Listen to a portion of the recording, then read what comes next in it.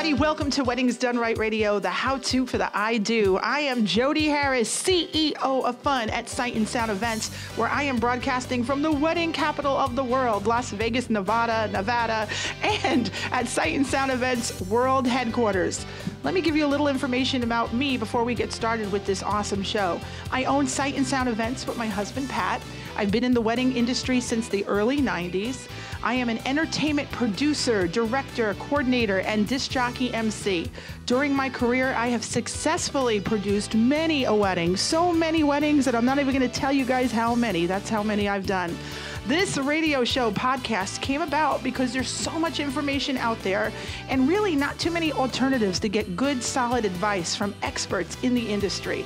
So, through the power of the internet, you can download favorite episodes of this show, Weddings Done Right, the how to for the I do, and listen in your car and share that with friends and family. So, like I said, it is the how to for the I do. If you would like to follow me on Twitter, and I would love to hear from you, please send me a tweet. Tweet it out to Jodi Harris. That's J O D I Harris, H A R R I S. So, are you guys ready? We're going to start the very first show of Weddings Done Right.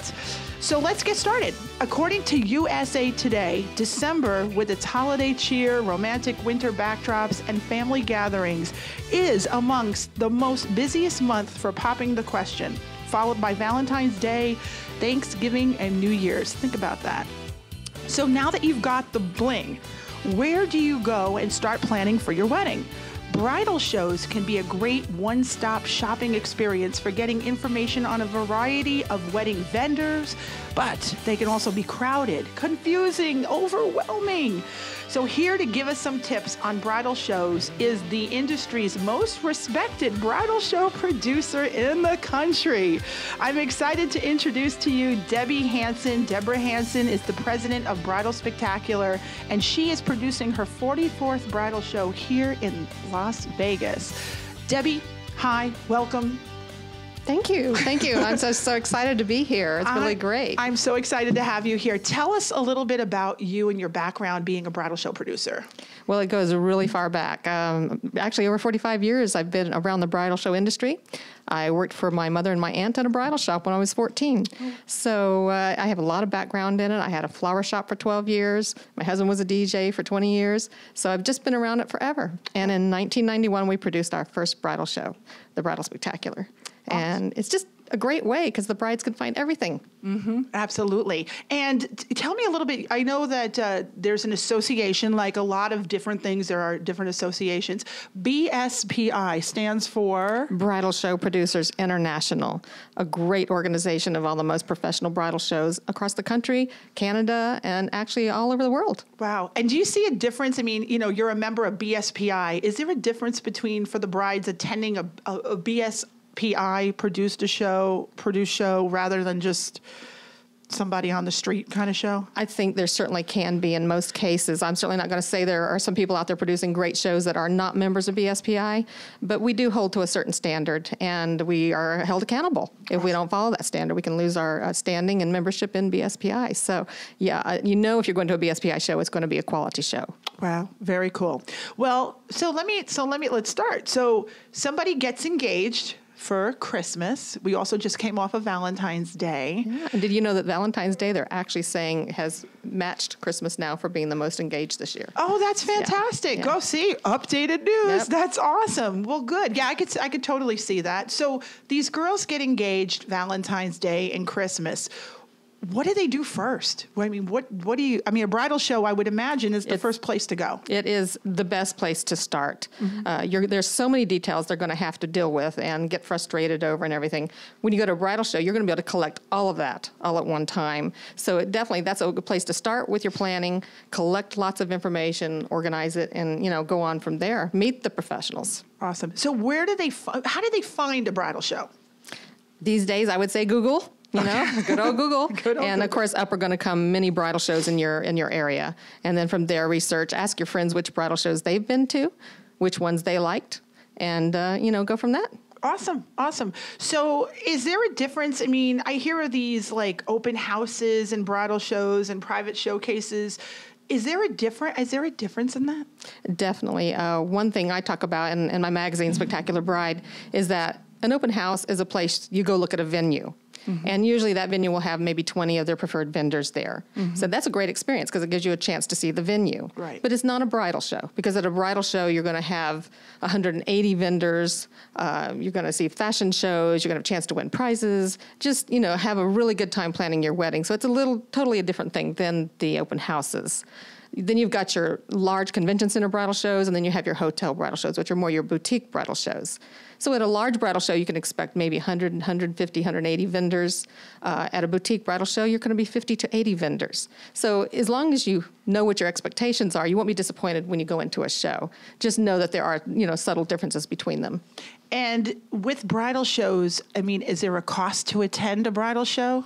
A good bridal show? Yes, there usually is. And, you know. and why would there? You, you mentioned a good bridal show, like you're talking about a cost. So why are some free and ones aren't free? What, what Usually, you, one that's charging, of course, has many more things that they're going to give you when you come to the door. Whether it's a magazine subscription, a free wedding planner, uh, coupon packages, just different things. Uh, a free shopping keepsake bag you're going to use forever throughout your whole planning.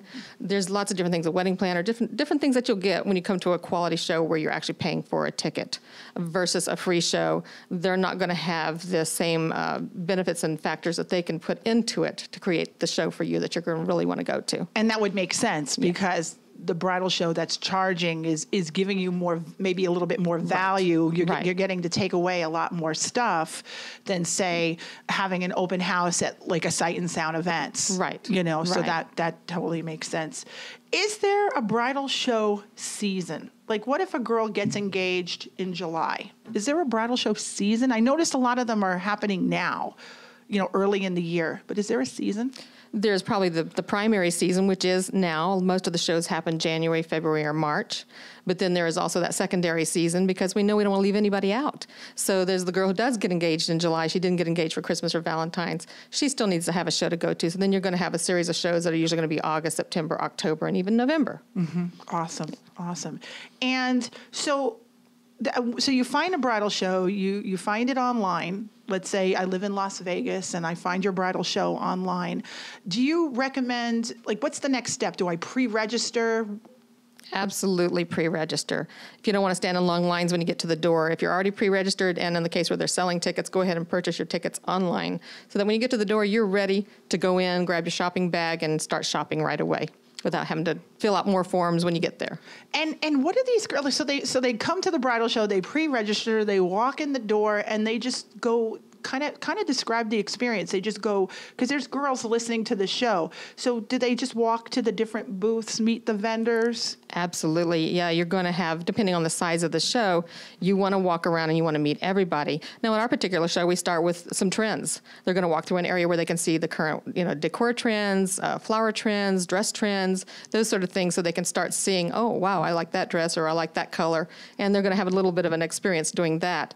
Then they start through the rest of the show meeting vendor after vendor, uh, collecting the information so that they can know who they want to purchase their wedding and pro- products and services from. Awesome. Do you find, like, when you were talking about the trends, is it you and your staff that come up with, like, or do you hire coordinators to come in and come up with the trends? Like, are you guys, I'm sure you guys are on the cutting edge of the trends, but how do you know what to showcase at a bridal show when it comes to that? We do try to stay, of course, on top of the current wedding trends, but we feel like that's something that the experts should do. So we have many quality florists, and I'm sure shows across the country have many quality florists and decor people who come in and they know, you know, the different uh, trends and flowers and, and decor decor and lighting and all the things that a bride could possibly want at a wedding. So they put together those those themes and decorate the booth so that the bride is seeing as she walks through the hall many different ideas and concepts, cutting edge that's trends. Awesome. Yeah. That's that's awesome. Is there, you know, I'm kind of getting off topic here, and I do that a lot. But is there is it if you at your last show was there anything uh, particular that stood out that was really kind of cool and different?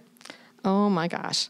Uh, that's always hard to pin down just one. You know, we, we, we honor and award as many booths as we can because they're also spectacular. Uh, just the colors, you know, the colors, the, the soft pinks, the, the new new big color emerald, uh, just knowing how to put those together and, and beautiful uh, crystals and things hanging on filament, you know, from the sky. It's very hard to describe on radio. Right, right. Uh, but just amazing trends that maybe a bride would never think of on her own, but as she walks through, she can meet the florist that can put these things together for her. That's awesome. And the other other thing that she can do is touch, taste, Yes. feel, Smell. smell. she can incorporate all five senses Right. by going to a show because there's only so much like a magazine, you know, can can do. You know, you can only exactly get a visual. exactly So. and and with so many of the products a bride needs uh, djs Mm-hmm. uh, photographers personality is such a major part of that decision picking them from the website picking them from a magazine you can't even have a clue what their personality is Sure. and matching your personalities with your dj with your photographer is is key absolutely key as you know so um, they want to meet those people and they want to find out is this somebody i'd be comfortable with on my wedding day Absolutely. How much time should a bride spend plan on spending at a bridal show? We always tell them plan on at least four hours. At least four hours, and that will give them plenty of time through, to walk through a large show and see a fashion show. Because usually a fashion show is going to be 35, 45 minutes right there. That's awesome. So I always tell them plan on at least four hours.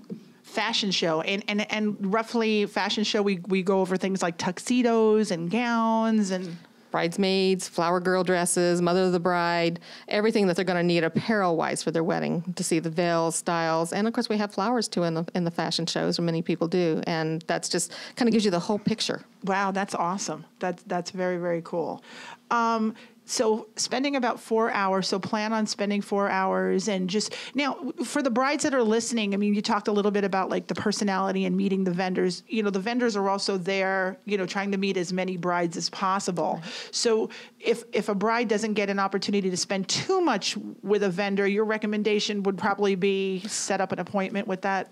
I would say that's the most important thing to do at a bridal show. Uh, collect the information so that you can look at it later, but definitely make an appointment with the ones that you know attract your eye or your ear or whatever your taste buds, whatever it is you're, you're checking out, and say, you know, can I make an appointment with you? Uh, definitely, and then proceed with that so that you find out more about that person. Got it. So you go to you're the bride. You got engaged. You go to the bridal show. You, you pretty much you know you're going to spend invest about four hours. That's what you should do, girls. If you're listening in the car, four hours. Who do you bring with you to the bridal show? Well, bring the groom. Okay. More grooms are getting involved now than ever. I mean, they really do get excited about it now. So if you've got a groom like that who really wants to be involved, definitely bring him along. Uh, our particular show, we have a date night and the grooms come, and that's really great. And then we have a second day show. Not all shows have a two day show, but ah. the second day, then we say, we'll come back without him because not all guys can put in that commitment to shopping, ladies. so if you find that he's not really able to stick it out, you know, bring him for a couple hours, send him on, and then continue shopping yourself because we know women can shop. awesome. So with the girls spending about four hours. Oh, what about the mom? I mean, do the moms come too? Do They, do. usually do. you see a lot- moms. Moms are definitely very much involved. Anybody would you? So anybody who may be paying for the wedding should probably come to a bridal show. Maybe. Yeah, dads, you know, attention span aren't always good, but I have had dads come and, Yeah, and enjoy I've it. seen 'em, yeah. But I think collecting that information and then sitting down at another time with your parents, if the parents are paying, and going through all those details can also be good. Sometimes what will happen at the bridal show if you bring too many people is you'll get pulled too many different directions. Got it. And then that's more what becomes overwhelming than the show itself. Absolutely. I, I definitely have to agree with you on that one for sure because, you know, you're bringing the friends, the bridesmaids are all coming and they're like, you should talk to that DJ. Oh, no, no, no, but I like that DJ. but wait, that photographer does this, but no, I found it. And you're like, so I, I, I totally agree with you. It's, it could become very overwhelming. And I think, you know, you're 100% right. I really do honestly feel it should be the bride and groom. They're the ones that are getting married. right. They should be enjoying the experience and that's what's cool about a bridal show is is girls that you get to experience i mean that's part of it shopping shopping for your big day shopping and tasting cake and holding different bouquets and talking to some of the industry experts it's so so vitally important like Right. you, all points that you touched on so And they're getting to do that without having to get go in their car and drive 30 or 40 places all over town. absolutely Yeah, they get to see all these people under one roof. Absolutely. So spending four hours there, I was about to say, spending four hours there, you should pretty much dress comfortably. Oh, definitely. So you're not wearing Um, the stilettos, right? Definitely. Uh, don't. No, no, the most important thing is to wear the comfortable shoes. Uh-huh. Yeah, but yeah, and if you want to be respected too, though, it's it, it's important to dress nicely. you Good know. point. I never even Nicely. I never even thought about that. So when you say if you're a bride attending the bridal show, when you say dress nicely, I mean you're not talking about you know pearls and you know No. you're just talking about clean, Right, neat, nice. right. Don't look too sloppy. Yeah. Yeah. because people form opinions, right? I They mean, do, unfortunately. They do. is. Of course, I always tell my vendors don't because you can't tell, you know, the quality of a person just by the way they're dressed. But uh, I think some people do judge that way. Yeah, no, I agree. I, very, very good point. I didn't even think about that, but that see, girls, very, very good. Um, setting up an email account, a specific email account. I've been reading a lot that brides should do that. Why should they set up a specific email just for their wedding? Well, one reason would be that when the wedding's all over, you can simply then turn that email off so that you're no longer hearing from vendors that you don't need to hear from anymore. Um, I always tell brides they really shouldn't stress too much about the fact that they're going to get emails from these vendors after a bridal show because that's what it's all about. You went there to collect information. You went there hopefully even find some special offers and great deals. And many of these vendors are going to continue to send these offers after a show. Sure. So there's no reason to get all worried about the fact that people are emailing your email address, and you'll be especially less worried about it if you just use a different one to begin with. Our particular show, and many shows are coming to where they actually change the bride's email anyway for them so that we're not giving out their private email addresses. So when you say change the email, explain that to me. Well, in other words, if their email is Jane Doe, you know, at Yahoo, we're not actually going to give Jane Doe at Yahoo out to the vendors. So we're already protecting their their privacy. Got it. Okay, but not all shows are doing that yet. So, uh, in case that's not being done, I just recommend set up a new Yahoo account, new Gmail account, whatever. You know, just so that you can, when you're done planning, you can just turn it off, Awesome. and Good. you don't get a bunch of emails anymore that you're not interested in looking at. Perfect, great advice. And what about? I noticed that a lot of vendors will do giveaways at their booth. Um, they might give away, you know. Um, a, a light, maybe a lighting package or something like that, or a florist may give away a uh, a toss bouquet, let's say. Um, so when these girls come to the shows, the vendors, as a vendor, I know that you know we we ask for the information ahead of time, well, you know, or ask them to fill out a card. Do you recommend that they come? I noticed a lot of girls are using stickers nowadays. Oh yeah, yeah. Uh, definitely bring uh, bring labels with your name, address, and wedding date and email on it. Uh, and then you'll be able to use those for all the different drawings at the different booths, Good and you won't have to keep handwriting till you get you know writer's cramp. Yeah. you know writing those things out. But it is a great opportunity to win prizes, so you want to be prepared to you know have that little sticker and and give that information to each vendor, so for a chance to win prizes and discounts and sometimes free services. Absolutely, absolutely, and it's it's a good thing, and I like that because you're right. I mean, you just keep writing and writing, and sometimes you're at a point, and you're a vendor. You're at a point where the girl didn't bring the sticker, and you're at a point where like, is that what's that? Is that a zero? Is that an O? Is like because the handwriting is Yes, just very yeah. hard, and you very might hard. win something. You maybe you want a honeymoon or something like that. So never know. You, You never ne- know. You never know. Um, is it important for a bride? I mean, I know she's spending. We talked about the four hours. Is it important that she visit every vendor at the show? It depends on what things she still needs. Uh, we have we find 60 to 75 percent of the brides who come to shows haven't done anything yet. So yeah, it, there's nothing wrong with as you walk by each booth picking up a piece of information so that you can go home. And, and we'll talk about that in a little bit, what to do when you do get home. Uh, but yeah, pick up information from every booth to organize later.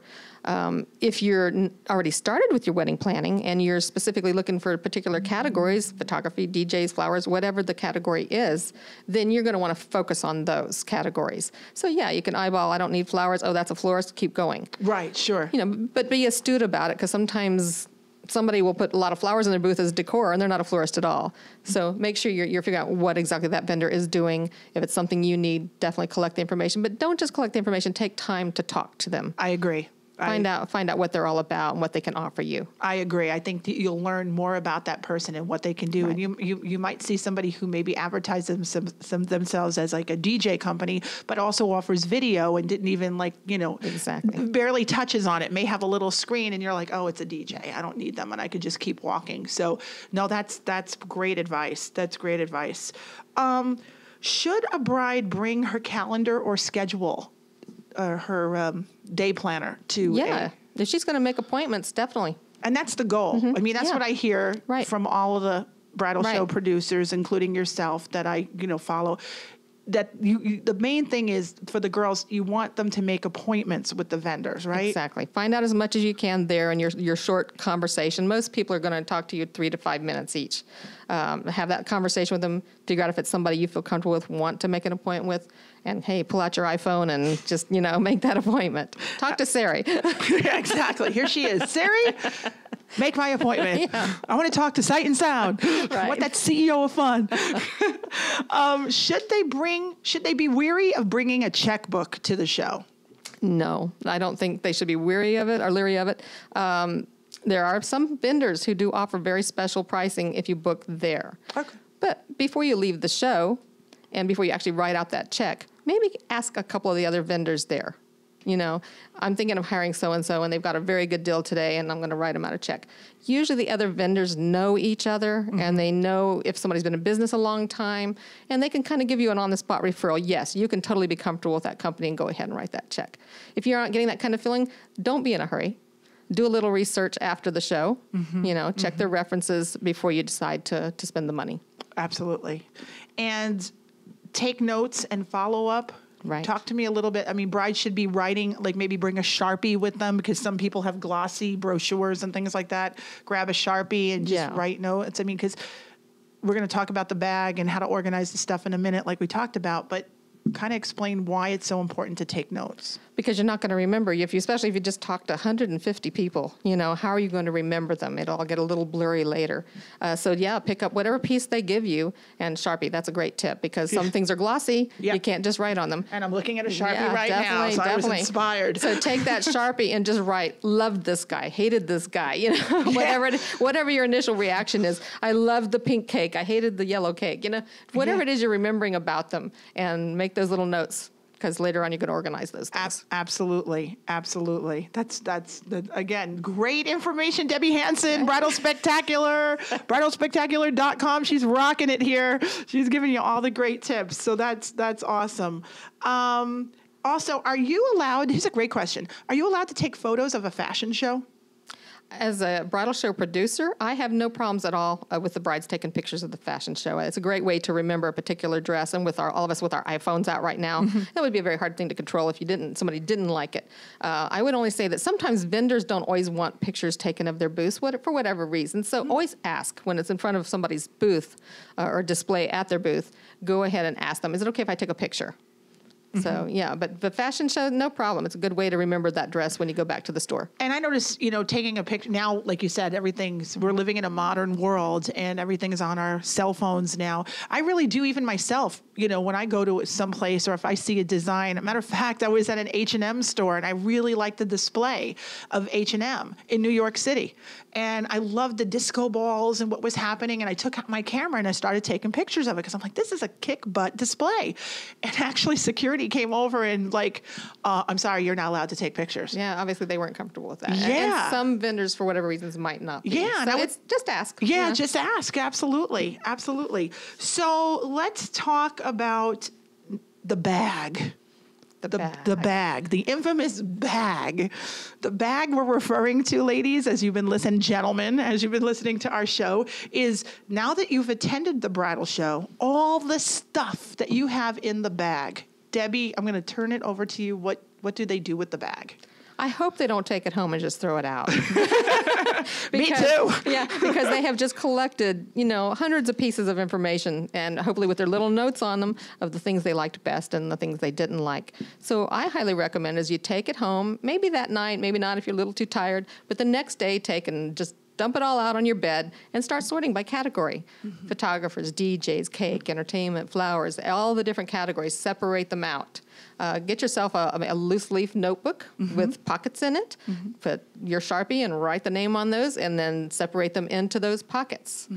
After you've done that part of it, then it may not even be the same day, but the next day, then start going through pocket by pocket. Now look at the notes you made on these different people.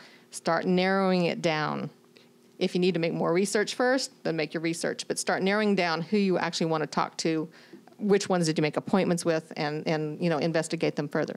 And and by that I mean it's so great now because I mean they can take the brochure, they can have their iPad or their laptop out, and they can just go right away, go onto that person's website. And Right. Right. They can look at more details that they'll find out on the website for sure. Absolutely. I, I never recommend making a decisions just from a website. You should definitely talk to the people. I agree. If you haven't met them at the bridal show, go meet the people, make I- appointments. I, I definitely, I definitely agree.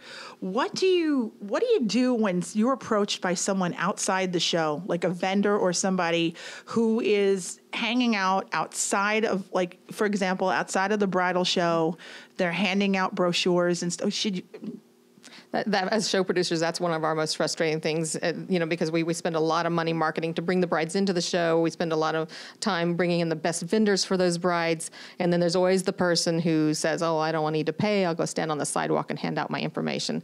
Brides refuse it.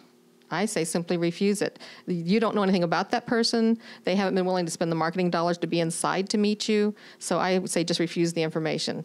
You also have to be careful of the ones who buy a ticket and come into the show and then follow you around and try to give you information. So, yeah, you, you want to make sure that you're talking to people in booths, not somebody that tackles you in the sidewalk, you know, or, or in the aisles and says, oh, by the way, I have a cake business and here's my card. Right, right. Stick to the vendor, stick to the booths. It'll be very obvious that they're there legitimately and they're the ones you'll want to talk wow, to. Wow, amazing. I can't believe that people do that. Yeah, I'm afraid so. Wow. And having been in the bridal industry and producing the show, I'm, I'm, I'm just like floored. I'm like, really? People do this stuff? Wow every show.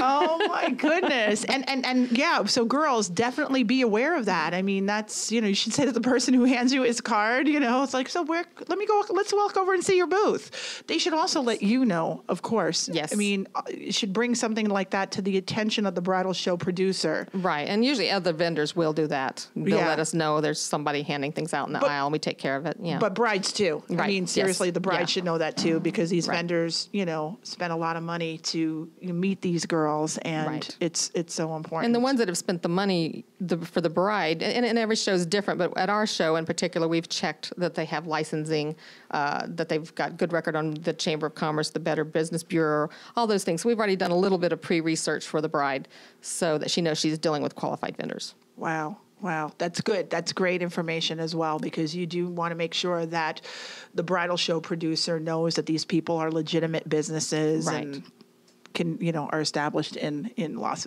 wherever you are. I'm saying Las Vegas Yeah. because we're in Las Vegas, wedding capital of the world. um, Debbie, is there anything else that um, that you feel we should touch on or mention in regards to you know for the girls? Any pieces of advice that you want to give before we close it out? Well, make sure she sees the fashion show. Mm-hmm. That's very important. Uh, you're going to get to see all the latest trends in tuxedos, formal wear, and dresses. So, you know, make sure you carve out enough time to see that. Usually, at some point, if you're in the show, walking around talking to the vendors, you're going to hear the music start, and you're going to hear announcements that the show is getting ready to start. Go head on over to that fashion show and see it, and it'll also will give you a little bit of a break. So that you can rest, you know, your feet for a little while, rest your mind for a little while, enjoy a show, and then go back and, and do some more shopping. Awesome. and do you have? I know there's restrooms, of course. You're there oh, for a long time, and we all need to. But was are there places where they can buy food and stuff like that? I mean, I know that there are vendors at some of the catering places will you know have you taste food. But do you have? Are there usually restaurants or someplace to eat or Well, speaking for shows nationally, I'd have to say I- in, in every show's case, I'm not sure. Okay. You know, in our show, yes, uh, we do have food available uh, through the concessions so that they can do that, and there's also bars, you know, so they can grab a cocktail, you know. But that may not be the same in every show across the Right. country. Um, but there's usually some little catering samples, and there's cake samples, and just different things from vendors who are, of course, their product is food, who will be handing out samples too for the brides to enjoy. That's awesome. All right, boys and girls. Well, that is uh, Debbie Hansen from Bridal Spectacular. Debbie, give out your information for any of brides that want to talk to you, or even you know vendors that might want to speak to you. How do they reach you? Well, definitely, if you're planning any kind of a Las Vegas wedding, and of course, that's girls from all over the country come to Las Vegas, uh, you go to bridalspectacular.com and you can check out our website. And all the vendors who participate in our events are on that website also, so you'll get to check out the local vendors and uh, find out more about them. Um, you can also email us at orders at bridalspectacular.com. And we'll be happy to take your emails and give suggestions on planning a wedding in Las Vegas. Awesome. And you tweet and Facebook. Oh, yeah. Uh, well, let's see. Facebook fan page is uh, Bridal Spectacular Bridal Show, Okay. And Twitter is Vegas Bridal Show. Awesome. Great. All right, everybody. That is it. I am Jodi Harris, CEO of Fun. I want to thank Debbie Hansen from Bridal Spectacular for being here and doing a fantastic job talking to you guys about how to attend a bridal show and what you should do. So we will see you next show. If you want to reach me, Jodi Harris, remember I am on Twitter too. It's Jodi Harris, J O D I, Jodi Harris. At tw- on Twitter, and uh, Sight and Sound on Facebook, and sightnsound.com. And that's the letter N because we couldn't get the A and D, so it's the letter N. I will see you next time. Have a fantastic one. Talk to you soon. Bye.